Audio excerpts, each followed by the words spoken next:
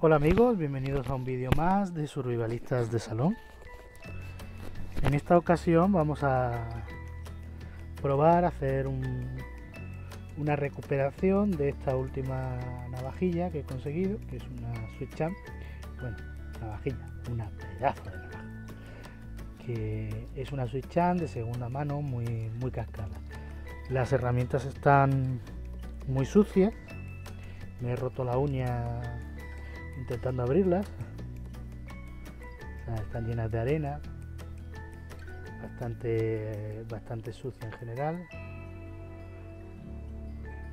Y lo que vamos a hacer es pegarle primero un lavado. Luego las cachas están regular, no me gustan mucho como están. Las, las vamos a, se las vamos a cambiar. Y bueno, a ver cómo queda esta restauración. ¿Por qué he pillado esta Switch Champ? Pues porque me ha salido muy barata. Como veis, esta comida de mierda, eh, literalmente. Pero creo que después de, de un apañito, de un lavado, de un de uno de un buen fregado con un cepillo de dientes y agua y jabón yo también tengo la manía de pasarles después alcohol por, toda la navaja después de haberla lavado y dejarla limpia para tema de desinfección. Le pego un lavado en alcohol, luego las vuelvo a enjuagar y a ver si las dejo nuevas. A ver si soy capaz. Bueno, pues entonces esta es la switcha, que ya veis que está comida de mierda. Cuesta sacar hasta la última herramienta. Lupa creo que está un poquito arañada, pero bueno. Y como es una pieza que todo coleccionista de Victorinox debería tener, pues a ver si soy capaz de recuperarla. Me ha costado muy barata, ha costado 30 euros. Eh, creo que es un buen precio para esta navaja, con gastos de envío incluidos. Y bueno, pues ya os contaré cómo queda. Volveré a abrir otra, otra de las herramientas, es que con la cámara es difícil. Las tijeras, por ejemplo, le falta el muelle, con lo cual tendré que hacerle un cambio de muelle. El escamador está pues asqueroso. En fin. Proceso de, de lavado de la navaja. Antes de lavarla vamos a cambiarle las cachas. En realidad no le voy a cambiar las cachas, sino solo que le voy a quitar las las que tienes. Tengo estas antiguas cachas de, otra navaja que le van a venir muy bien porque además traen el hueco para el bolígrafo y esta no lo trae y ya me va a quedar más completa. Entonces le voy a quitar las cachas que tiene y le voy a poner la... No le voy a poner todavía las nuevas, sino se las pondré después de lavarlas. Procedo a quitarle le sacamos la pinza y el palillo que yo lo suelo tirar.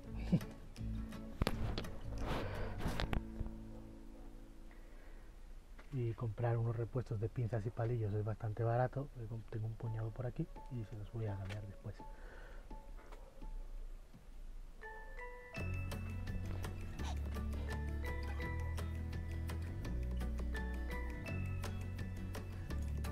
yo para quitarle las cachas suelo hacer, nunca lo he hecho con una cámara delante, es meterles el...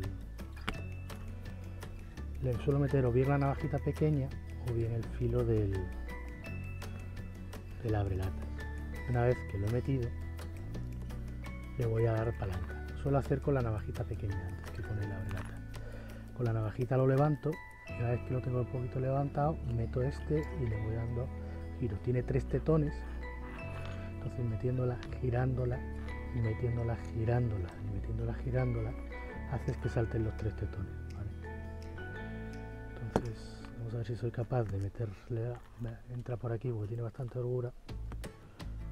Llegamos hasta la punta primero, la del extremo. Ya saltado el primero, ha saltado el segundo, a la vez, y el tercero. Fuera una de las cachas, vamos a quitarle la otra. pues lo mismo. O busco, el, busco la palanquilla, plaf, 1, 2, 3 y ya han saltado los tres seguros. ¿Veis? Estos son los tres tetones que, que encajan en estas molduras y son los que hacen que la cacha quede pegada. Entonces luego la siguiente cacha, como no esta nueva entran a presión, entran muy justas y una vez que quede ajustada ya se queda ahí. La mía quedará negra porque será guay que las otras. Vale, pues ya la tengo desmontada y ahora sí me la llevo a darle un buen baño y un buen fregado. Eh, el proceso de lavarla y fregarla no lo voy a grabar porque total, en el fondo es lo mismo. Mm, básicamente va a ser lo siguiente. Abrimos todas las herramientas.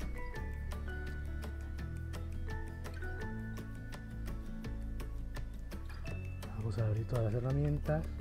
La vamos a meter en agua con jabón y con el cepillo de dientes le vamos a dar a todo hasta que quede níquel cuando ya la vea níquel ya ya dejaré de fregarla y de lavarla por todas partes eh, hasta que veis todas estas manchas desaparecerán todo esto debe desaparecer y debe quedar completamente níquel la verdad es que está bastante bien, si miráis las herramientas no está ninguna dañada, no está ninguna, quitando la navaja, quitando las tijeras, que aunque se ven que el filo está muy bien, sea, mierda tiene por todos lados, ¿no? tiene muelle. Entonces este muelle intentaré ponerle un muelle que tengo aquí, a ver si le va bien, porque este creo que es de un modelo de tijera más pequeño, no me acuerdo voy a probar ponérselo a ver cómo le. Y bueno, pues ese será mi proceso de restauración de la de esta Switch Champ. Se me ha olvidado de decir que tenía que haberme puesto guantes, pero guantes de látex para tocarla. Vale, después de pegarle una buena limpiada ha quedado así.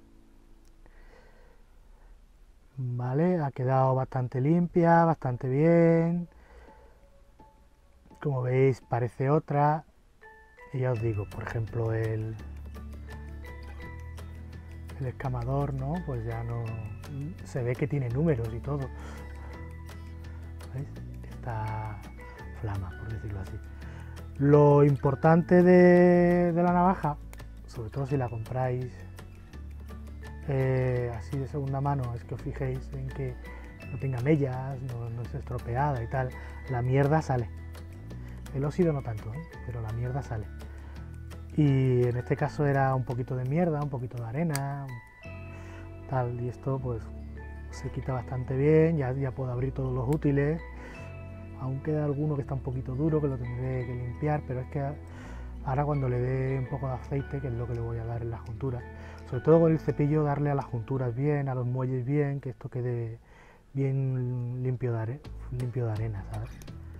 Eh, pues eso, básicamente es la, la idea principal de fijaros la sierra, que ya es una sierra, no está devorada por la mierda tiene su hoja y está, digamos, flama. La de metal también está en condiciones, ya, ya es otra cosa. Es otra cosa. Algunas herramientas, esta en concreto, la hojita de la, la hojita pequeña, aún está dura, pero que también la estoy abriendo con, con todas las herramientas abiertas a la vez y los muelles no ayudan en esos casos porque estamos obligando a la navaja a abrir varios muelles a la vez y a veces están pues, un poquito más duras. La lupa, que yo quería que estaba arañada y era solo un poquito de un poquito de mierda, entonces está estupenda. Total, que bueno, pues aquí está mi, mi switch aún sin, sin arreglar ha quedado bastante limpia por dentro y ahora vamos al rollo Al final me corto por hacer el tonto. Vamos a cerrarla de una en una.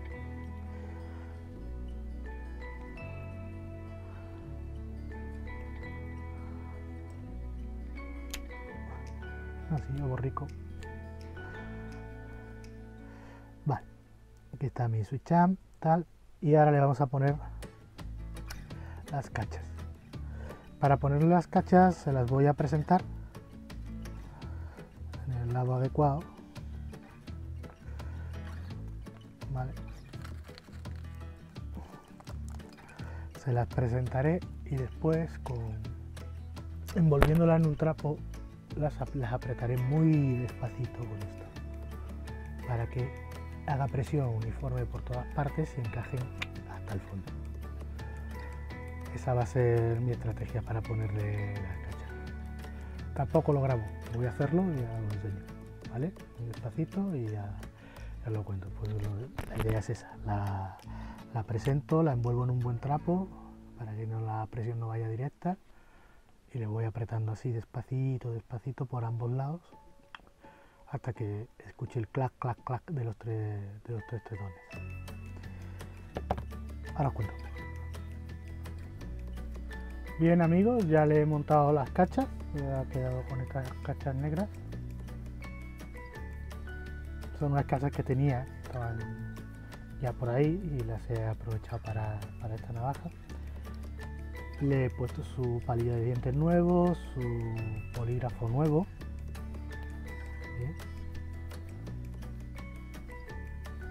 Le he incorporado el, el destornillador sacacorcho. No le he puesto un alfiler porque tengo que buscar una aguja. Porque yo creo que le yo le suelo poner una aguja de coser.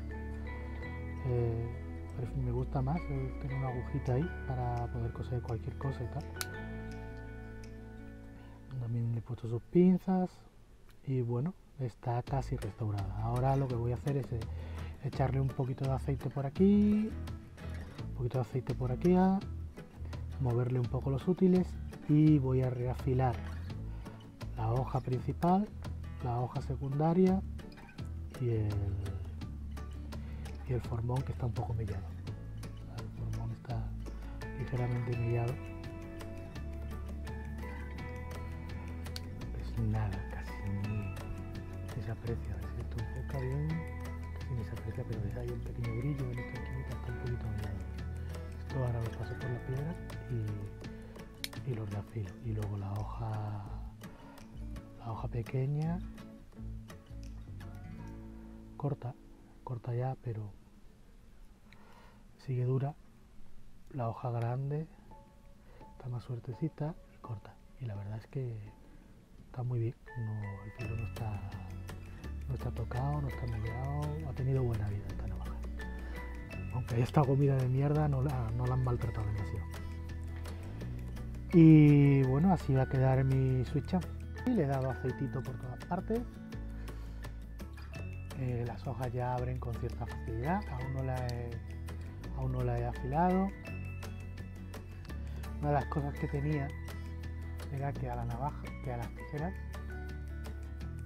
le faltaba el, el muelle y le he puesto el muelle, el muelle de- un muellecito de navaja, o sea, de navaja de un muellecito para las tijeras, perdón, y la he lubricado y ya veis que va bastante bien, funciona con, con normalidad. Entonces ya por último lo que me queda es afilarla. Mira, ya la hoja pequeñita ya se abre bien, después de haberle dado aceitito. Para montarlo lo único que hice fue encajar el muelle en el hueco que tiene ahí, eh, digamos entre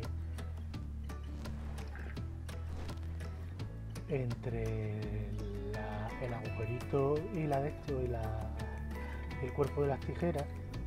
Aquí hay un- una ranura que es por donde entra el muelle. Encajé el muelle primero ahí dentro hasta que lo apoyé a- ajustando el fuera.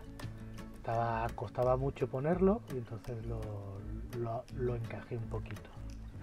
Después con un alicate apreté hasta que escuché el clac del muelle entrar en el agujero. y con eso se, se pone. Mucha gente, o por ahí hay un vídeo donde te lo, lo hacen con el propio alicate de otra Victorinox, apretando y te, y te lo colocan. Entonces ya se lo coloqué. Les he dado una pasada por la por la piedra, las tijeras, una pasada por esta de DC3 por el lado de la cerámica varias veces. Este, tirándola solo en este sentido de acuerdo y creo que han quedado bien. Y para afilar la hoja he utilizado pues este afilador de Victorinox que tiene una piedra ya que viene muy bien con el ángulo ya previsto para que le des con la con la propia hoja. Y por último unas pasadas por el por la cerámica. La hoja grande no ha quedado tan afilada como yo esperaba aún así está bien haré la típica demostración para que todo el mundo vea cómo ha quedado se agarra un poquito ¿eh? no, hay trampa ni cartón pero bueno hace un corte bastante limpio ¿eh?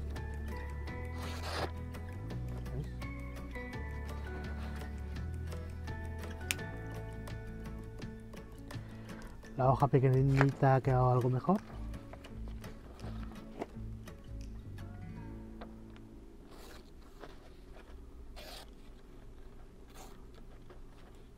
Arrolla un poquito todavía.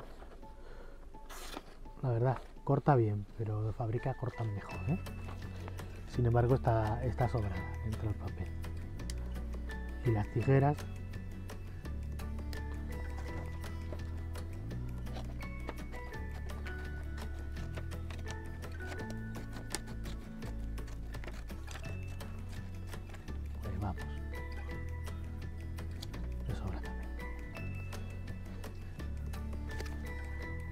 quedado estupendas. El formón que también lo he tenido que afilar. Pues ahí está. Ya no tiene las mellas. Y se agarra, ¿eh? tiene, filo. También lo he hecho con la DC4 dándole unas pasaditas y unas pasaditas en el sentido contrario. Y bueno, así ha quedado. Y ahora por último voy a hacer algo que solo puede hacer, bueno, no solo lo puede hacer, pero que una navaja hace mejor que un cuchillo. O por lo menos pienso yo que esto lo hace una navaja mejor que un cuchillo. Y es